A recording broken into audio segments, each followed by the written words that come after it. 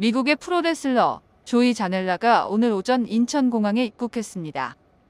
조이 자넬라는 오늘 오후 5시 서울 한성대학교 상상관 체육관에서 열리는 PWS 피닉스 라이즈 대회에서 PWS 챔피언인 조경호와 맞붙습니다. 조이 자넬라는 미국의 프로레슬링 단체인 CZW와 AEW에서 맹활약한 하드코어 스타일의 선수로 현재는 GCW를 운영하는 프로모터도 겸하고 있습니다.